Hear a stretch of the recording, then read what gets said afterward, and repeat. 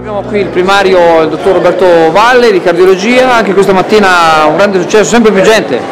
Beh, vuol dire che la cosa funziona e che la sensibilizzazione della gente si dà i suoi risultati, è, un, è una soddisfazione, i pazienti, i pazienti, i cittadini sono tanti, speriamo di trovare meno pazienti possibili, ma di